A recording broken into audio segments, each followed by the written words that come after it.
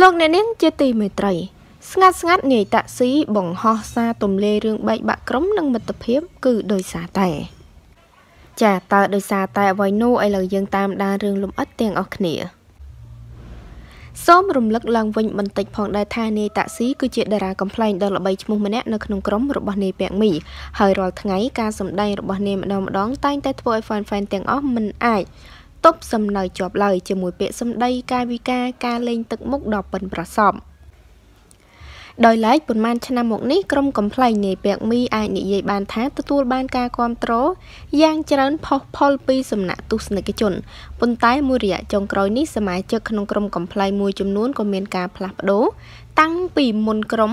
តារាកំ pl ែងខាងលើលាឈប់ពី CTN មកម្លេះ។ ស្រាប់តែថ្មីថ្មីនេះមហាជនជាច្រើនផ្ទុះការចាប់អារម្មណ៍យ៉ាងខ្លាំងក្រោយឃើញនារីដ៏ស្រស់ស្អាតម្នាក់បានទម្លាយវីដេអូក្នុង TikTok បង្ហាញសកម្មភាពក្នុងថ្ងៃមង្គលការរបស់ខ្លួននិងទស្សនភាពផ្អែមល្ហែមស្និទ្ធស្នាលជាច្រើនទៀតជាមួយនាយតាក់ស៊ីដែលត្រូវជាស្វាមី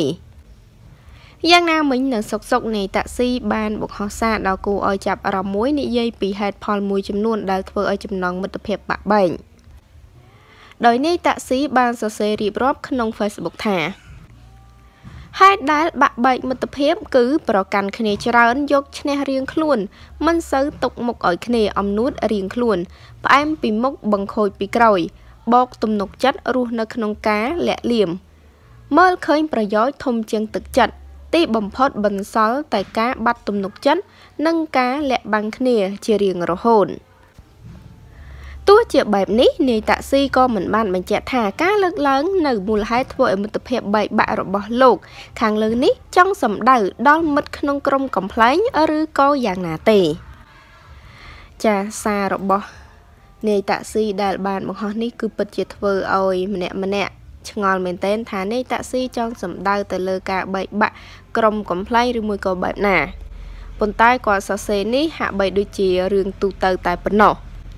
តើប្រិមិត្តវិញយល់យ៉ាងណាដែរសូមចូលបែងចែកម្តិម្នាក់មួយអរគុណច្រើនបងប្អូនទាំងអស់គ្នាតេតងនឹងព័ត៌មាននេះដែរក៏សូមបញ្ចប់តែត្រឹមនេះឥឡូវយើងងាកមកតាមដាននៅព័ត៌មានជាបន្តទៀតដែលតេតងទៅនឹងឈិនម៉ានិចនិយាយរឿងនេះស្មានតែមានស្នេហាការពិតនាងទំលាយថា ចាថាតើរឿងអ្វីនោះឥឡូវយើងតាមដានព័ត៌មានលំអិតទាំងអស់គ្នា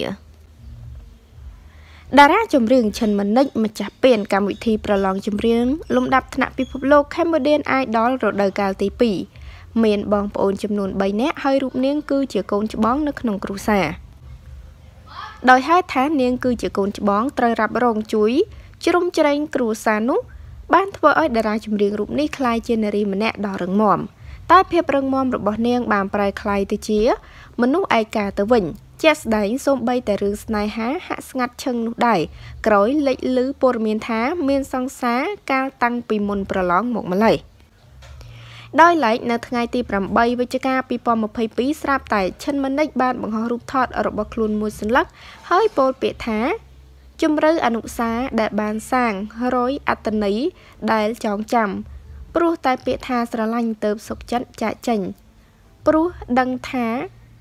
វាមិនមែនជាកន្លែងយើងបេះដូងមួយ ដែលបានស្គាល់ក្តីស្រឡាញ់ទោះស្លាប់ហើយកើតឡើងវិញក៏មិនអាចភ្លេចបានចាក់ចេញព្រោះស្រឡាញ់មិនមែនស្អំតាមរយៈសារនេះទៅ fan fan មួយចំនួន ចង់ដឹងថា នាងមានស្នេហាឬក៏នាំគ្នាខមមិនផ្លែថា បងឥឡូវចេះមានស្នេហាហើយមែនបងឥឡូវចេះមានស្នេហាទៀតប្អូនស្រីក្រោយពី fan បានលើកជាសំណួរបែបនេះឈិនម៉ានិចក៏បានឆ្លើយតបថាសេតលេងនឹងណាអូនកុំអោយស្ងាត់ចាអត្តន័យដែលឈិនម៉ានិចបង្ហោះគឺធ្វើឲ្យ fan fan គិតថា idol កំពុងតែមានស្នេហាប៉ុន្តែតាមពិតគ្រាន់តែដ្រាម៉ាដើម្បីកុំអោយស្ងាត់តែប៉ុណ្ណោះប្រិមិត្តតាមដានគឺពិតជាហួសចិត្តមែនទែនប៉ុន្តែជាការពិត ជួនកាលពាក្យពិតក៏អាចបន្លំ ពាក្យបន្លំក៏អាចជាការពិតបានដែរអរគុណច្រើនប្រិយមិត្តទាំងអស់គ្នាតេតងនឹងព័ត៌មាននេះដែរក៏សូមបញ្ចប់តែត្រឹមនេះសូមអរគុណសូមគោរពលា